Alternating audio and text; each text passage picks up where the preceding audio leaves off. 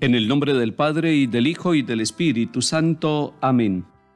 Edificaste una torre para tu huerta florida, un lagar para tu vino, y para el vino una viña. Y la viña no dio uvas, ni el lagar buena bebida, solo racimos amargos y zumo de amarga tinta. Edificaste una torre, Señor, para tu guarida, un huerto de dulce frutos, una noria de aguas limpias, un blanco silencio de horas y un verde beso de brisas y esta casa que es tu torre, y este mi cuerpo de arcilla, esta sangre que es tu sangre, y esta herida que es tu herida, te dieron frutos amargos, amargas uvas y espinas. Rompe, Señor, tu silencio, rompe tu silencio y grita, que mi lagar enrojezca cuando tu planta lo pise, y que tu mesa se endulce con el vino de tu viña. Amén. Lectura de la profecía de Jonás, capítulo 3. Vino la palabra del Señor sobre Jonás. Levántate y vete a Nínive, la gran ciudad, y predícale el mensaje que te digo. Se levantó Jonás y fue a Nínive como mandó el Señor. Nínive era una gran ciudad. Tres días hacían falta para recorrerla. Comenzó Jonás a entrar por la ciudad y caminó durante un día proclamando, Dentro de cuarenta días Nínive será destruida. Creyeron en Dios los ninivitas, proclamaron el ayuno y se vistieron de saco, grandes y pequeños. Llegó el mensaje al rey de Nínive. Se levantó del trono, dejó el manto, se cubrió de saco, se sentó en el polvo y mandó al heraldo a proclamar en su nombre a Nínive. Hombres y animales, vacas y ovejas, no prueben bocado, no pasten ni beban, vístanse de saco hombres y animales, invoquen fervientemente a Dios, que se convierta cada cual de su mala vida y de la violencia de sus manos. Quizás se arrepienta y se compadezca Dios, quizás cese el incendio de su ira y no pereceremos. Y vio Dios sus obras, su conversión de la mala vida. Se compadeció y se arrepintió Dios de la catástrofe con que había amenazado a Nínive y no le ejecutó. Palabra de Dios, te alabamos Señor.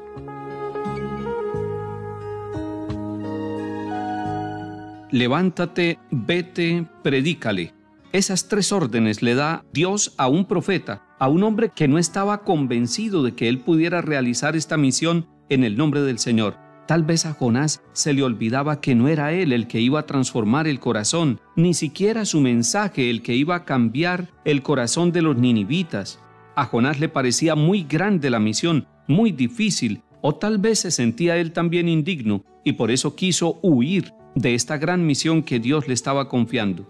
Pero en el caso de Jonás y en el caso de todos los enviados de Dios, se cumple de verdad aquello de que Dios nos llama no por lo que somos, sino a pesar de lo que somos y nos confía una misión. Hoy el Señor nos está diciendo a los bautizados en este tiempo de cuaresma, levántate, vete, predícale. Levántate para que nos levantemos por la misericordia de Dios, porque Él nos da la mano. Vete para que nos pongamos en camino hacia el lugar de la misión de cada uno de nosotros. Predícale, y no solamente con la palabra, sino sobre todo con la vida, con el testimonio. Hoy nos damos cuenta que Jonás termina obedeciendo un poco a regañadientes, pero se va, cumple la misión, empieza a predicar, y es que no era fácil lo que tenía que anunciar. No era una buena noticia, era una noticia dura, pero tenía que anunciarla en el nombre del Señor y se necesitan hombres y mujeres que por el bautismo sean profetas, no profetas de calamidades, pero sí profetas de la necesidad del cambio, profetas que denuncien nuestros pecados, profetas que nos hagan ver que no estamos bien y que el tiempo de cuaresma note la humildad para que nosotros en el Espíritu del Señor renovemos nuestra vida. Lo que tenía que anunciar Jonás era lo siguiente, dentro de 40 días Nínive será destruida. Pero hay algo maravilloso, creyeron en Dios los ninivitas, y hasta el rey creyó. Es una ciudad, es una nación, sus gobernantes creen. Qué importante cuando en una nación todos los ciudadanos se dan cuenta que pueden vivir bien solamente si encuentran el camino de Dios. La actitud del rey de Nínive es interesante. Se levantó del trono, dejó el manto, se cubrió de saco. Esto lo hizo también el Señor Jesús en el lavatorio de los pies se levantó, se quitó el manto y se cubrió de la humildad. Es necesario que nuestros gobernantes sean humildes, Es necesario que los líderes de nuestras comunidades sean humildes en la presencia de Dios y sean los primeros en dar testimonio de esa cercanía con Dios, de una ética política, de una ética económica, de una ética social que pone en el centro de las decisiones la voluntad de Dios. Y dice el rey de Nínive, invoquen fervientemente a Dios, que se convierta cada cual de su mala vida, y Él es el que está empezando a dar ejemplo. Dios ve las obras de una gran ciudad, Dios ve las obras de los grandes líderes, de los pequeños líderes, de todos aquellos que tienen responsabilidades en nuestras comunidades. Vio Dios sus obras, vio la conversión de la mala vida que llevaba Nínive, su gobernante y todos los habitantes. Y viene la respuesta de Dios. Se compadeció y se arrepintió. Dios se compadece y se arrepiente. Dios responde con misericordia cuando nosotros confiamos en Él y humildemente nos proponemos cambiar. Salmo 50. Misericordia, Dios mío, por tu bondad, por tu inmensa compasión borra mi culpa, lava del todo mi delito, limpia mi pecado. Oh Dios, crea en mí un corazón puro, renuévame por dentro con espíritu firme, no me arrojes lejos de tu rostro, no me quites tu santo espíritu. Los sacrificios no te satisfacen. Si te ofreciera un holocausto no lo querrías. Mi sacrificio es un espíritu quebrantado, un corazón quebrantado y humillado, tú no lo desprecias. Lectura del Santo Evangelio según San Lucas capítulo 11. En aquel tiempo la gente se apiñaba alrededor de Jesús y él se puso a decirles, Esta generación es una generación perversa pide un signo, pero no se le dará más signo que el signo de Jonás. Como Jonás fue un signo para los habitantes de Nínive, lo mismo será el Hijo del Hombre para esta generación.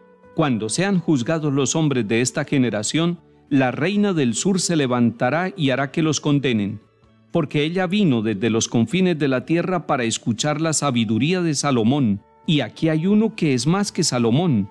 Cuando sea juzgada esta generación, los hombres de Nínive se alzarán, y harán que los condenen, porque ellos se convirtieron con la predicación de Jonás, y aquí hay uno que es más que Jonás. Palabra del Señor. Gloria a ti, Señor Jesús.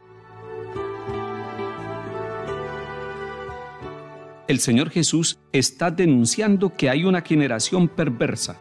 Es una generación que se caracteriza porque quiere ver signos cada día, porque le pide signos a Dios, pero no está dispuesta esta generación perversa a cambiar y ese es el mayor signo que Dios espera de cada uno de nosotros.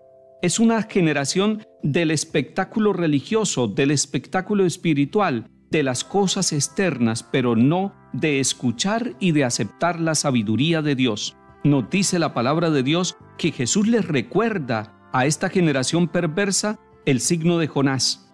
¿Y cuál es el signo de Jonás? es el signo de la predicación de un hombre y de la conversión de una comunidad grande de los habitantes de Nínive. Pues el Señor sigue predicándonos, el Señor sigue anunciando su palabra, el Señor sigue llamándonos a la reconciliación, al cambio y nos dejó el sacramento del perdón y nosotros debemos dar el signo de nuestra conversión. ¿Y cuál es el signo de la reina del sur?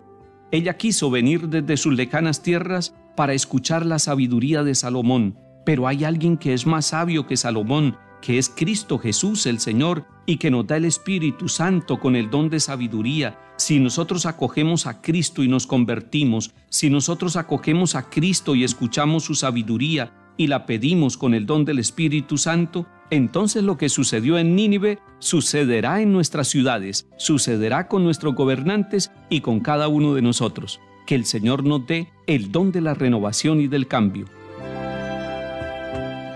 Déjense reconciliar por Dios. Que el Señor nos bendiga y acompañe. En el nombre del Padre, y del Hijo, y del Espíritu Santo. Amén.